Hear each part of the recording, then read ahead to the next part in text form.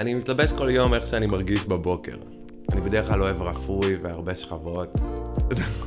אני נורא אוהב את המשקפיים שלי. מזכיר לי שאני לא חייב להביט על העולם, שבעצם אני בוחר לעשות את זה כל פעם.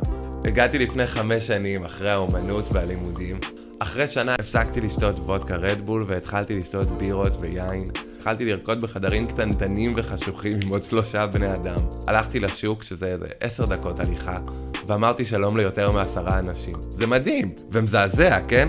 בתלפיות אתה פוגש גבריות ומנהוד כזה של בעלי מלאכה כביכול קשוחים, אבל הם האנשים הכי חמודים והכי מקסימים בעולם. חלק מהם כבר מכירים, אה, זה בטח מהבית ספר של האומנויות.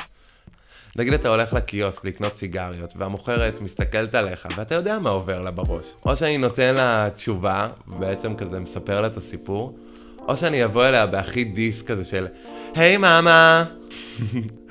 אם אתה מחליט לפתוח, אז גם הם נפתחים. ואתה מגלה הרבה קבלה והבנה ואהבה. לפעמים אתה מקבל גם לא מתאים, וזה nice. יש לי חלום להתפלל בכותל בחליפת פינגווין, אבל ורוד פוקסיה. זה מערער וזה משעשע. אני מרגיש שבירושלים אנשים כל הזמן לחוצים, כל הזמן ממהרים, כל הזמן בפחד. הייתי רוצה לראות פה אנשים פחות בדרך לאנשהו, ויותר פשוט הולכים. מרגיש לי לא הגיוני לראות בן אדם ולא להתייחס לזה שהוא קיים.